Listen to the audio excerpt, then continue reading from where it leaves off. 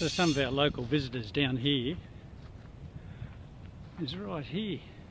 Look at this. What have we got here? Huh? What's your name, do you want? What's that? Anything, little girl? She said, you're just tricking me. Hey? Little one in the bottom? In the pouch?